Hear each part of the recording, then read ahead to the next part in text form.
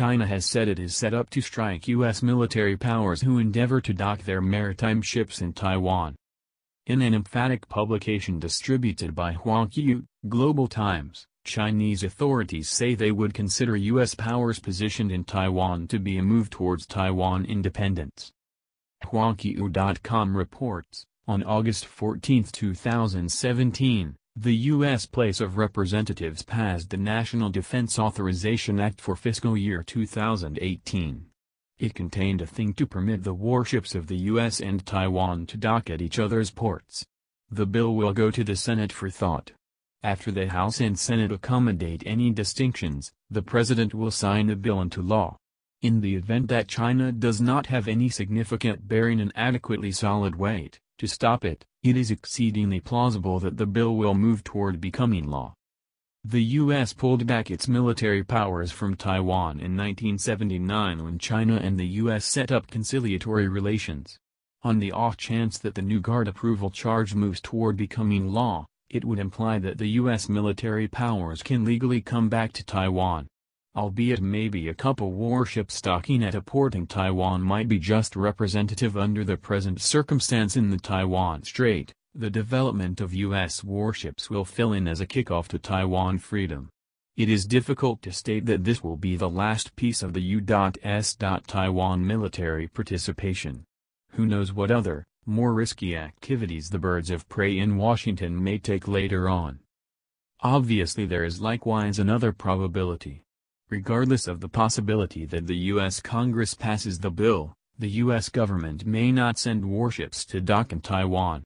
Rather, they may simply utilize the bill as a chip to undermine China which will unavoidably expand the cost for China to keep up its relations with the U.S. It will likewise place China in an aloof and negative position in the Sino-U.S. vital diversion. Consider it.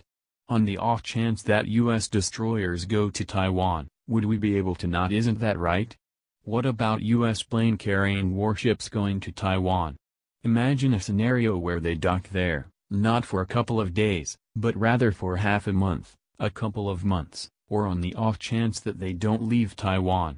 Additionally, imagine a scenario in which it is not a typical stop and dock, but rather U.S. warships come to Taiwan at whatever point the connection between the two sides of the Taiwan Strait ends up plainly exceptional.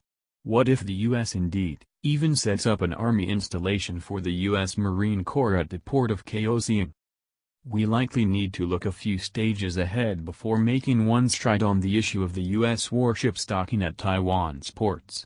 In the event that the U.S. can make a couple of strides a while later that China totally won't acknowledge, at that point, around then, China may need to take part in a standoff to stop it. At that point China should simply act now to draw a red line for the U.S. What's more, Taiwan. One may state that the underlying driver of the Taiwan issue, a conceivable split from China, is the U.S. It bodes well, yet we ought not take it to the extraordinary.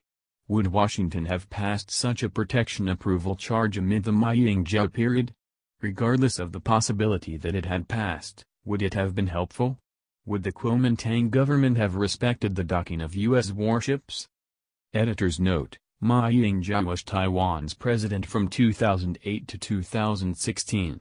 The creator is suggesting that Ma Ying-jeou and his gathering, the Kuomintang, were expert the One China approach, so this sort of issue would not have happened and furthermore that the present Taiwan President Tsai Ing-wen and her gathering, the Democratic Progress Party, DPP, are professional One China and One Taiwan. Hence this issue would come up. From the phone call amongst Trump and Tsai Ing-wen to the U.S. Congress advancing that U.S. warships dock in Taiwan, Tsai's organization has assumed a key part. Tsai seems, by all accounts, to be delicate and delicate, however she is colorful from her bones. Through a few conciliatory activities, mainland China has hosed her self-importance. In any case, Tsai and her associates obviously have not educated their lessons yet and even endeavor to counter back. The possibility of the U.S. warship docking in Taiwan bears the shadow of this counterattack. It must be brought up that the U.S. warships coming back to Taiwan will be the most unsafe and serious moving down of the Taiwan freedom development in decades. It will be an activity that will really change the norm in the Taiwan Strait. In the event that Tsai Ing-wen and the U.S. resound each other and make this stride, at that point she will be further down the Taiwan autonomy way than Chen Shui-bian, president of Taiwan from 2000 to 2008, who was additionally from the DPP. China reprimanded him seriously to attempt to take Taiwan toward autonomy. It is a long way from enough just, for China, to apply discretionary weight on the Tsai Ing-wen specialists. It is by all accounts basic, for China, to expand its military weight on Taiwan. In addition, for U.S. warships to dock in Taiwan, all by itself, is a military activity.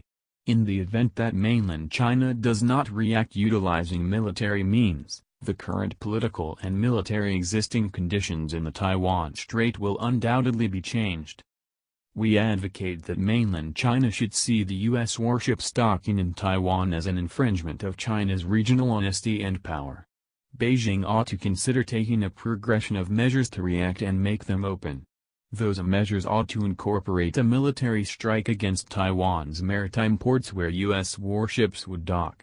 On the off chance that Taiwan counterattacks, the People's Liberation Army, PLA, will complete a moment strike against Taiwan. On the off chance that the U.S. warships take part in Taiwan's counterattack, China will fire back to sink the U.S. warships. We are not going to push for a presentation of war against Taiwan and the U.S., yet to advocate an unmistakably drawn, China's, primary concern on the Taiwan Strait issue. Under no situation can the U.S. military powers stop at Taiwan regardless of whether the two sides of the Taiwan Strait need peace or war is up to the decision that the Taiwan experts make. The principles of the diversion in the Taiwan Strait can't be this way, regardless of how forceful the Taiwan specialists are, Taiwan is sheltered. The Taiwan Strait issue must have a genuine red line. When Taiwan experts touch the red line, it will be done. China is focused on a sereneness and however should have the metal to battle. Just thusly can our monetary and military power be changed into an effective obstruction to the Taiwan autonomy powers and to the outside, unfriendly, powers, and just along these lines can the red line we draw be considered important. Tsai Ing-wen experts don't set out to battle with mainland China. If the PLA assaults military offices on Taiwan Island, Taiwan will be in bedlam. Their gathering, the DPP will be removed. So once mainland China declares that U.S. warships docking in Taiwan will prompt military strikes, Tsai experts will back off. In 2005, mainland China passed the anti-secession law, yet the Taiwan experts gave careful consideration to this law than they did to the Taiwan Relations Act that the U.S. passed. The time has come to wake Taiwan up to look at its words and deeds against the anti-secession law.